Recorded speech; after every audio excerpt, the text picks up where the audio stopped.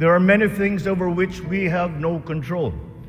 But over those where we do have control, we are doing everything we can. In spite of all the difficulties, we are transforming the economy. We are stabilizing the prices of all critical commodities. The national ID system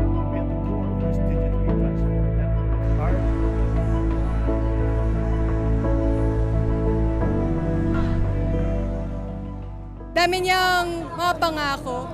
In fact, parang gusto niyang ibalik yung golden age or golden era ng tatay niya.